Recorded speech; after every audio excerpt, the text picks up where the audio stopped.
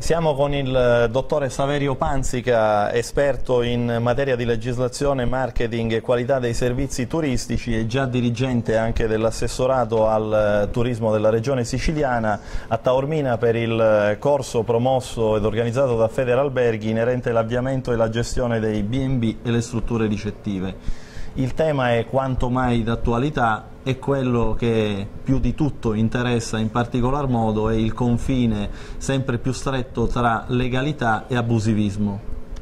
Benissimo. Allora, questo, uh, questo incontro è stato promosso uh, dall'Associazione Albergatori di Taormina, in particolare dal dottore Italo Mennella, d'accordo con uh, il dottore Nico Torrisi di Federalberghi Sicilia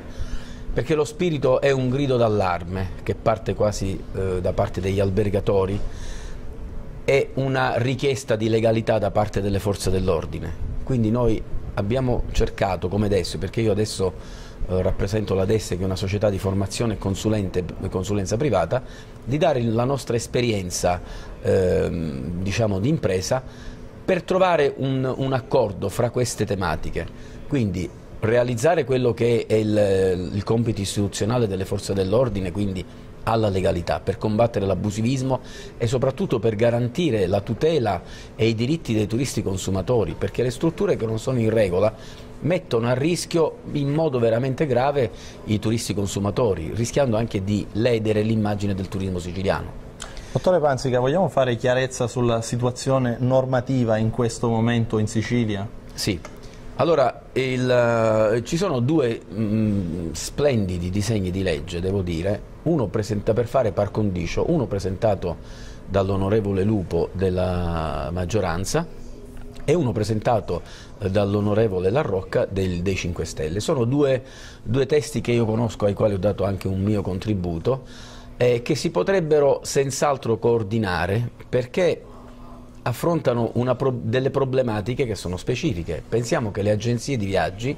non sono disciplinate in Sicilia dal 1936, non abbiamo mai recepito le normative nazionali, quindi abbiamo una normativa ferma al 1936 dove non sono previste sanzioni, dove c'è un abusivismo dilagante e dove c'è un problema che io denuncio pubblicamente, che spesso le scuole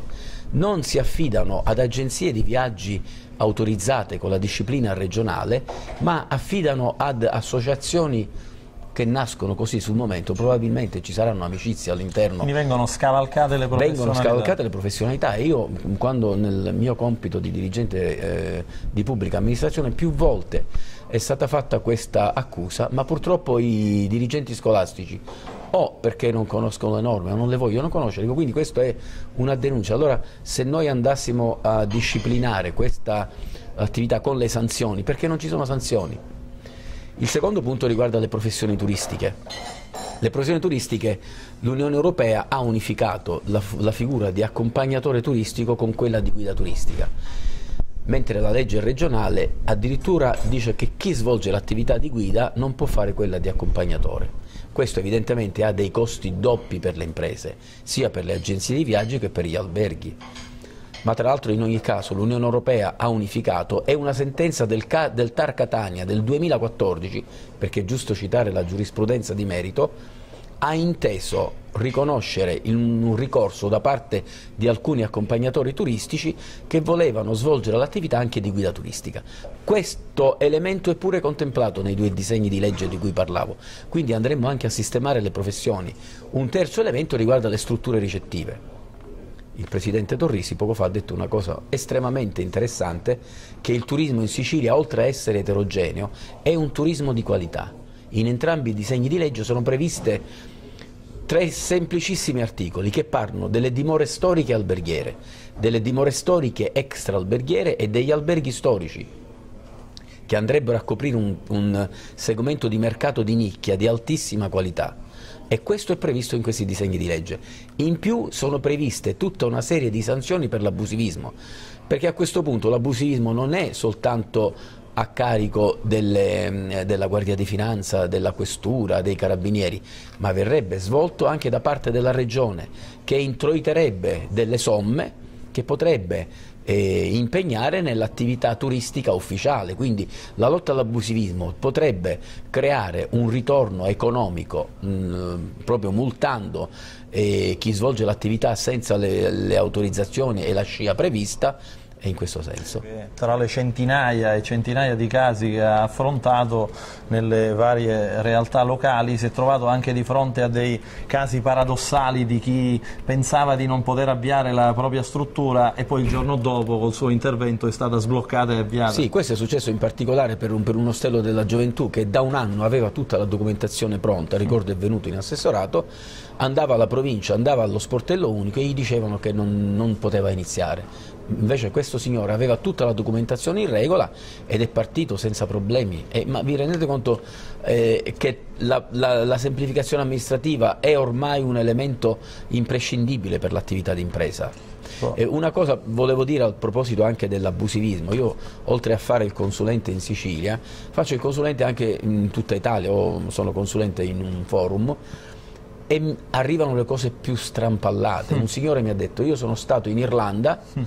mi è piaciuto, adesso voglio venire in Sicilia, prendere appartamenti e proporli prendendo una, eh, un compenso, ma questa è un'attività di intermediazione, l'intermediazione immobiliare la possono fare solo le agenzie di viaggi, mm. quella turistica, e le agenzie immobiliari. Allora il sacrosanta io ritengo sia la lotta all'abusivismo, perché qua non ci si sta capendo più niente, qua le, chi, è una giungla. La gente pensa che il turismo sia il viaggio, il divertimento, il, il turismo è una scienza economica, una, una scienza eh, sociale, un, un, ha tanti aspetti, e, e pretende una preparazione eh, altissima, di, di, alto livello, non ci si può improvvisare nel turismo. Ecco, 30, 36 anni di esperienza e di conoscenza ed applicazione della materia le avranno certamente consentito di farsi un'idea ben precisa di quelle che sono le varie località dove ci sono casi positivi e altri un po' meno positivi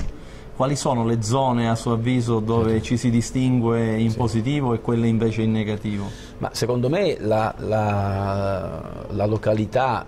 che per eccellenza è riuscita a capire il mondo del turismo è San Vito Lo Capo, perché San Vito Lo Capo eh, da interviste che ho fatto io perché conosco molto bene l'ambiente, mi dicevano che prima era una colonia di Trapani,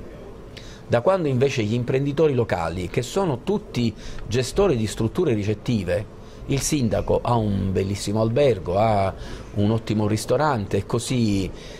hanno saputo coniugare l'attività di impresa turistica con l'attività politica, cioè è andato a fare politica chi veniva dal turismo ed è un esempio vincente perché più di ogni altra realtà siciliana, secondo me San Vito è riuscito a creare l'evento degli Aquiloni, il Couscous Fest, il, il Tempori Capuni, adesso fanno l'arrampicata, cioè veramente è una, una località, l'epoca ha fatto, una domanda sulla destagionalizzazione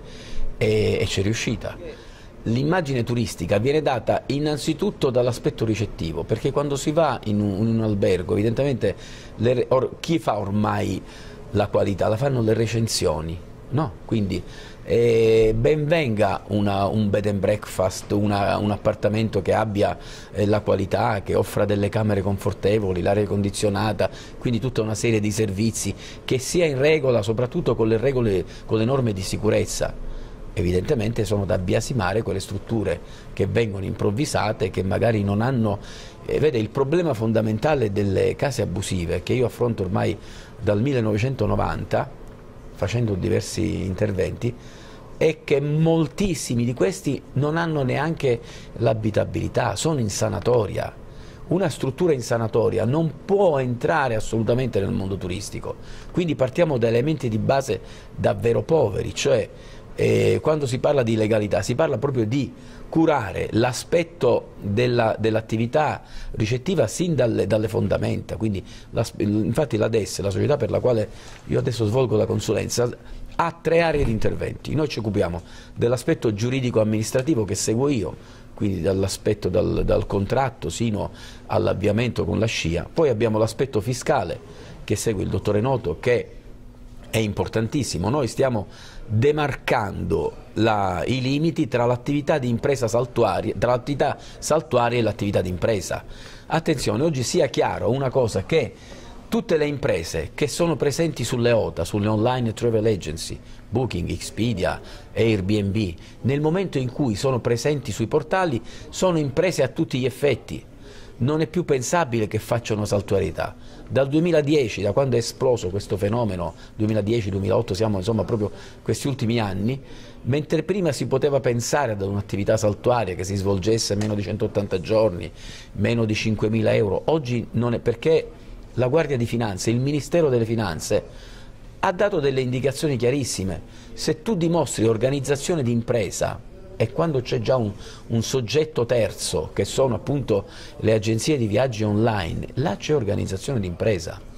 In conclusione, sì. sulla lotta all'abusivismo e sulle prospettive della lotta all'abusivismo, Saverio Panzica è ottimista e se è ottimista lo è per dati di fatto o per un fatto di pura aspettativa, di puro auspicio? Allora io devo dire ho organizzato già due corsi a Palermo e questo è il terzo che ho organizzato e devo dire che ho trovato delle persone veramente per bene, cioè chi vuole aprire un'attività eh, di ricettività diffusa, che sia bed and breakfast, che sia casa per vacanza, che sia affittacamere, è una persona culturalmente molto elevata, perché sono molti giovani che non hanno lavoro e i genitori magari, quindi io dico non dobbiamo criminalizzare però facciamo in modo che queste persone si mettano in regola, perché le, il rispetto delle regole li pone su uno stesso piano di concorrenza leale e questo lo impone l'Unione Europea con le strutture ricettive regolarmente autorizzate, altrimenti io sono, voglio dire,